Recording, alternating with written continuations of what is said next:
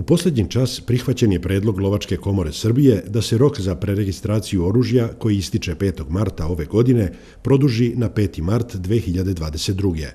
Uspeli smo da na dnevni red stavimo ovaj predlog izmene zakona po hitnom postupku i tako sprečimo da se gotovo pola miliona ljudi koji ovaj posao nisu uspeli da završe, a koji kod sebe imaju neku vrstu naoružanja, nađe sa one strane zakona, kaže poslanik Marijan Rističević.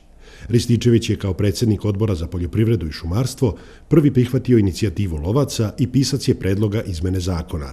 Ovaj zakon je naišao na brojne kritike i zbog troškova koje imaju vlasnici oružja, a koje se ogledaju u uverenjima da nisu osuđivani, da su zdravi, obaveznoj obuci ili ispitu na strelištima, kojih nema u zabačenim krajevima Srbije, diskrecionom pravu MUPA da i posle sprovedenih zakonskih procedura pojedinima i oduzmu oružje.